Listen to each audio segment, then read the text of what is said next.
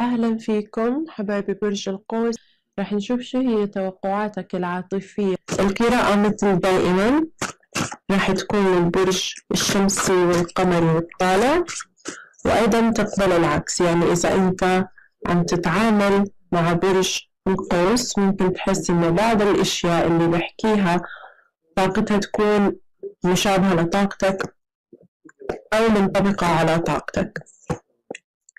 مثل دائما طبعا خذ المفيد من القراءة خذ فقط الأشياء الإيجابية اللي ممكن تستفيد منها من القراءة واترك الإشي اللي تحسه آه ما بينطبق عليك لأنه القراءة عامة يعني مش رح تنطبق على الجميع. فخذ منها فقط اللي بيفيدك. قبل ما نبلش بالقراءة رح ناخذ كود توضيحية وبعدين رح نشوف شو طاقتك. طاقة الحبيب الحالية شو خطواته ونواياه وشو مصير العلاقة بينكم آه بالمستقبل. عشان تفهم الوضع أحسن.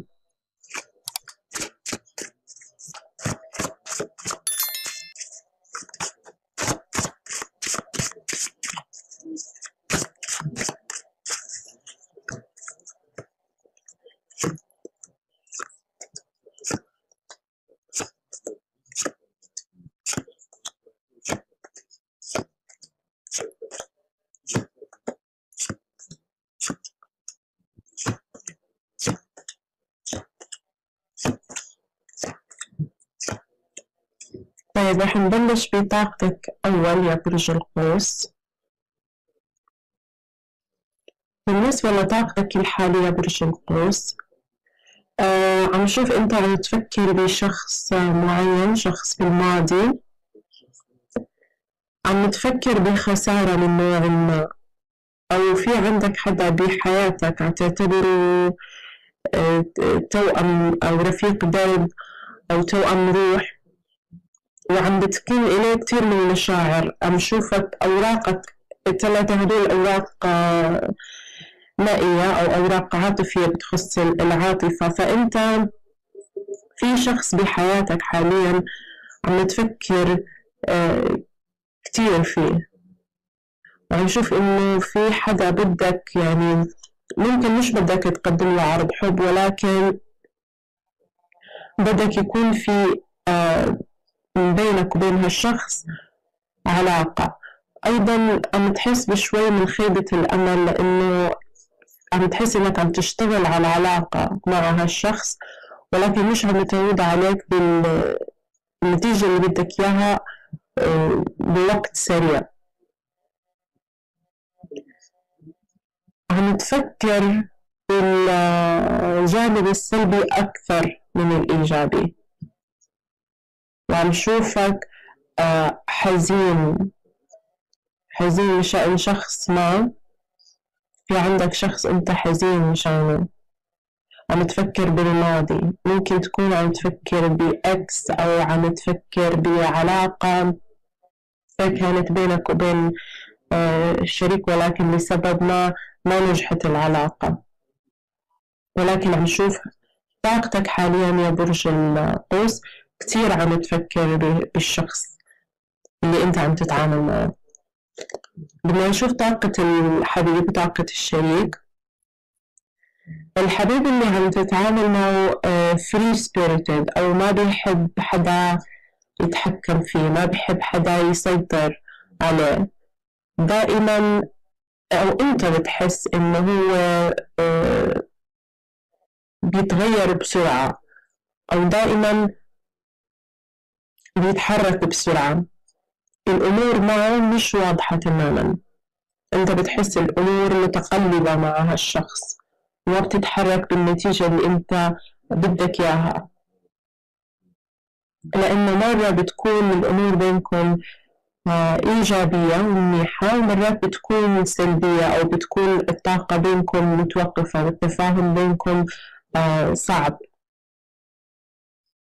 عم شوف هو الحبيب في عقله الباطني. السبب اللي ممكن آه، ما خلى الأمور تنجح بينكم إنه هالشخص عم شوفه family oriented أو كتير بيهتم بالعائلة. فهو عم يفكر هو بمطرح بحياته عم يفكر بتكون أسرة. لأنه عندك ten of cups الشخص بده يكون أسرة. أيضا عم نشوفه آه، بالعقل الباطني عنده يعني آه، شخص emotionally mature أو عاطفيا ناضج هالشخص. نشوف أيضا هو لا بيحب إن الأمور بينكم أيضا مش واضحة. مش فقط أنت ما بتحب إن الأمور بينكم مش واضحة لأنه بيشوف هالشخص إنه أنت شوي متلاعب. هون seven of swords. الشخص بيشوفك بعقله الباطني بيشوفك بتخبي عليه أو ما بتحكي لإله الصدق. في أشياء هو بيشوف بحياتك أو فيك أنت غير واضحة. وهالإشي ممكن يكون مخوفه من إنه هو بده ارتباط والتزام أكتر من برج القوس. عم شوف برج القوس برغم إنه مشاعرك كتير آه، صادقة تجاه الشخص إلى إنه أنت كمان ما بتحب حدا يربطك أو حدا يحطك في بوكس معين أو مطرح معين. وأنا عم شوف إنه هو الهدف النهائي لهالشخص أو الجول تبعه إنه هو بده يكون أسرة. وغالبيا بده منك التزام بمعنى إنه البعض منكم برج القوس هالشخص بده التزام بمعنى مش فقط علاقة بمعنى يعني ارتباط رسمي هو ممكن يكون خطوبة أو ممكن يكون زواج. فممكن يكون آه العلاقة شوي ملخبطة بينكم لأنه هو بده يرتبط أسرع منك. أو في وقت أسرع منك طيب نشوف شو ممكن تكون سبب المشاكل بينكم أو واحد من أسباب المشاكل بينكم وكيف ممكن تفهم الوضع بينك لحتى تحله؟ عندك هون entrapment يعني في آه أنت وهو إنه طاقتكم مشتركة عم تحسوا إنه انتو محطوطين في صندوق أو آه مطرح معين انت وهو ما بدكم اياه. في شخص كتير عفوي منكم وبيحب يخلي الأمور تيجي آه، بسهولة أو يعني مثل مثل ما الله بيريد. وفي شخص بيحب الأمور تكون آه، كتير مدروسة أو بيحب يمشي على نمط معين. فأنت رح يعني أنت بيختلف الوضع من شخص لآخر بس أنت رح تشوف إنه مين هو الشخص اللي هو شوي عفوي أكتر بالعلاقة أو ما بده التزام جدي حاليا. عم يشوف إنه هو مش مستعد إلى التزام جدي وفي طرف بده التزام جدي بده نمط معين يمشي عليه. أيضا بده يحس إنه في نهاية العلاقة رح توصل لإلها. لأنه ten of wands يعني في تكملة لإشي معين وهو بده يشوف إنه العلاقة تكون إلها نهاية. أيضا في طرف منكم مع إنه آه، حاول يتواصل مع الشخص الآخر بطريقة روحانية ولكن الطرف الآخر رافض فكرة الحب أو رافض آه، يتقبل منه عرض أو رافض التواصل معه. عم نشوف البداية بينكم اللي كنتوا بتريدوها ما نجحت. في صار كنتوا رح تبدوا ببداية البعض منكم كنتوا رح تبدوا في بداية جديدة. أو حصل في بينكم فترة آه، تخاصمتوا فيها مثلا كنتوا بدكم تبدوا بداية جديدة ولكن فشلت. لأنه عم شوف إنه في طرف ترك العلاقة أو مشى في طريق لوحده من أجل إنه يحصل على بداية جديدة بالعاطفة.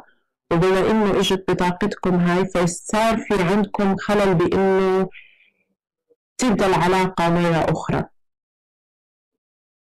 لأنه في طرف آه رافض فكرة الحب لأنه عم يشوف إنه آه الطريق ما في إله نهاية أو ما في خط واحد أو ما في ارتباط من نوع آه زواج أو خطوبة أو ارتباط رسمي. لأنه عم يشوف في طرف بده ارتباط وفي طرف بده شوي ياخذ الأمور ببساطة أو بده يتمهل أكتر بأخذ الأمور.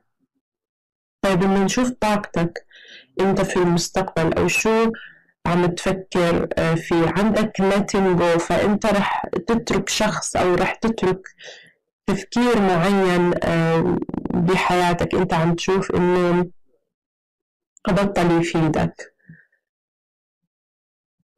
في أيضا عندك three of swords with magician with the empress. فطاقتك بالمستقبل طاقة كتير آه عم شوف أفضل. لأنه أنت عم شوفك أيضا إذا أنت زعلان من هالشخص أو إذا أنت مجروح من هالشخص عم شوف إنه أنت آه مستعد إنه تترك اللي صار بالماضي وتخليه يعني بالماضي إنك تتركه بالماضي. لأنه عندك three of swords. three of swords بترمز إلى إنه أنت يعني كنت كان في جرح عاطفي من هالشخص انجرحت من هالشخص. الشخص هذا زعلك. ولكن عم شوف إنه أنت مستعد تترك بعض الأمور أو بعض المنازعات الجدالات اللي صارت بينك وبين هالشخص تتركها بالماضي. عم شوفك أيضا عم تحاول توفق بين آه، شيئين بحياتك. عم تحاول توفق بين ممكن شخصين ممكن عم تحاول توفق بين العاطفة والعمل لأنه ممكن إذا برج القوس مش أنت اللي بدك الارتباط ممكن أنت ما بدك ارتباط لأنك ممكن مركز على الوضع المادي كتير. أو عم تفكر حاليا بكيف تكون نفسك من الناحية المادية أول. آه، بالذات إذا مثلا رجل آه، برج القوس رجل عم يتابع ممكن يكون غير مستعد آه، إلى الارتباط بعكس الشخص اللي عم تتعامل معه. أيضا بدي أحكي بالأبراج اللي ممكن عم تتعامل معها. ممكن تكون عم تتعامل مع أبراج مائية أبراج ترابية أبراج هوائية. بس بالأغلب في عندي أوراق آه، مائية فممكن ممكن الشخص اللي عم تتعامل معه كتير حساس أو في كتير مي بالخارطة الفلكية تبعته. أيضا خلينا نشوف خطوات الشريك بالمستقبل أو خطواته المستقبلية. سولميت آه هالشخص عم يبحث عن رفيق الدرب أو عم يبحث عن شريك يخوض معه آه، رحلته في الحياة. عم شوفه مقبل أو بده بداية عاطفية جديدة معك. عنده Ace of Cups فهالشخص عم Queen of Cups أيضا. هالشخص عم يطمح إلى بداية جديدة معك. أيضا عم شوف هالشخص يرضى بالقليل بمعنى إنه هو مش من النوع اللي متطلباته ممكن تكون كتيرة مع إنه البعض منكم ممكن تفكر إنه هو أو ممكن تفكر إنه هو متطلباته كتيرة أو عم يطلب منك إشي كتيرة ولكن هو عم يشوف إنه الإشي اللي كتير مركز عليه هو فقط شخص أو رفيق درب يكون معه لأنه أغلب تفكيره تفكير عاطفي. فما عم شوف هالشخص بيهتم كتير بالمادة. ممكن يكون أيضا شخص آه، روحاني اللي عم تتعامل معه. عم شوفه أكتر إشي يركز عليه أو مهتم فيه اللي هو طبيعة التواصل بينكم ومدى التزامك مع هالشخص. مشاعرك تجاه الشخص وحقيقة مشاعرك تجاه الشخص. أيضا عم شوفه آه، بالمستقبل بده بداية عفوية معك جديدة. أنا عم شوف إنه ممكن هو شخص كان في الماضي كتير جدي أو أنت حسيت إنه كان كتير جدي. إنه إذا ما مشيت الأمور مثل ما هو بيريد آه بيفركش الوضع أو بيترك العلاقة. عم شوف إنه هو بالمستقبل رح يحاول ينظر إلى الأمور بطريقة شوي إيجا... آه مش إيجابية شوي فلكسبل أكتر أو مرنة أكتر من ناحية آه نظرته للعلاقة بينكم. عم شوفه أيضا بالمستقبل هالشخص عم ينتظر يسمع منك خبر لأنه في عنده three of wands هالشخص عم يستنى رسالة منك عم يستنى خبر منك أو عم يستنى بداية جديدة معك.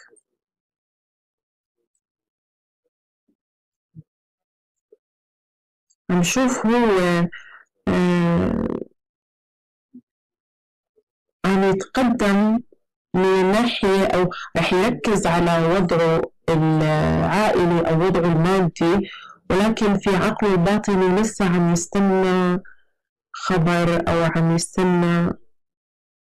ممكن أنت وهو مش عم تتواصلوا نهائيا للبعض منكم اللي مش عم تتواصلوا نهائيا الشخص بده يعرف فقط أنت شو هي أخبارك يعني شو التطورات اللي صارت معك شو الجديد في حياتك يعني بده مثل يطمن على وضعك كيف هو منيح أو أو لا.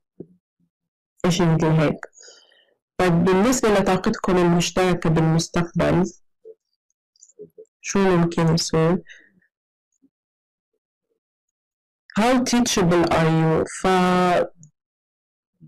الوضع بينكم بيتطلب آه، المرونة وأيضا بيتطلب إنه تتقبل الشخص تتقبلوا بعض مثل ما أنتوا عم شوف إنه بدكم تكونوا أكتر بالمستقبل مرنين مع بعض.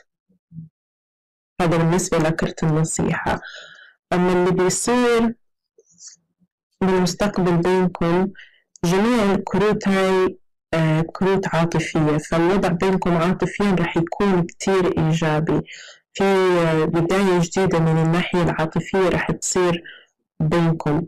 رح يصير في بينكم connection كتير عالي. أيضا أغلب الكروت المائية اللي إجت لكم من الرقم الكبير أو King of Cups يعني. ف King of Cups أفضل من أفضل كروت الحب لأنه المشاعر بتكون مشاعر عميقة. الارتباط بس يكون ويكون على المدى البعيد. أيضا في رح يكون كتير من التعاطف بما إنه الأوراق كتير مائية إجت فرح يكون في آه كتير حساسية بينكم كتير تعاطف بينكم. يعني حتى إذا صار في أولاد أو إذا صار في بينكم جدالات أو مشاكل عم شوف إنه في مجال لمناقشة الأمور بينكم لحل الأمور بينكم. وحتى يعني لوجود فرصة إنه تشرح الوضع بينكم. في رح يصير بينكم عدل بالأخذ والعطاء. لأنه عندك six of pentacles هون. فأنت وهو رح توصلوا لمرحلة إنه تفهم أو تفهموا الاثنين إنه يعني بدك تعطي على قد آه، ما بتاخد أو إشي مثل هيك. بالذات من الناحية العاطفية.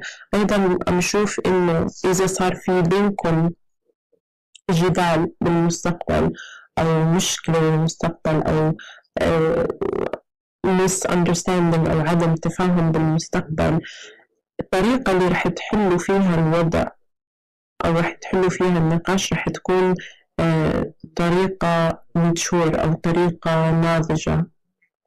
مش رح تكون فقط يعني رح تحكم على الشخص أو رح تحكم على التواصل مباشرة.